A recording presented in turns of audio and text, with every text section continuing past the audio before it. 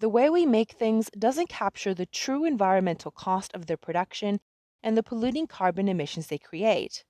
The government, as part of its international agreements, has set climate change targets to reduce greenhouse gas emissions over a number of decades. To reach the targets and better reflect the true cost of things to the environment, the government has a scheme for encouraging behavioural change. The New Zealand Emissions Trading Scheme, or NZETS, uses market forces to drive this change. The NZETS puts a monetary price on each ton of carbon emitted, forming a kind of currency that can be traded. These are called units. Producers who emit carbon have to buy units to cover their emissions. Foresters who plant trees that absorb carbon are given units by the governments to sell. The government supplies units to the NZETS market each year. It sells them to emitters for cash at auction and also gives them out for free to some emitters that would otherwise be competitively disadvantaged against companies that don't face an emission cost.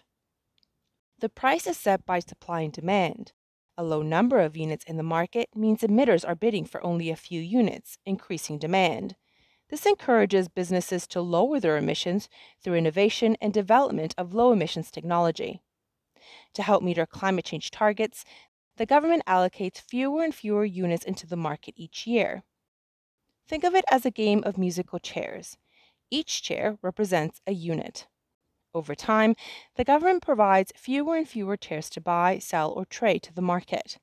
Businesses are therefore incentivized to find ways of reducing their emissions, for example, switching their coal boiler for electric. Fewer emissions will be created in the economy, moving New Zealand to a more climate resilient future.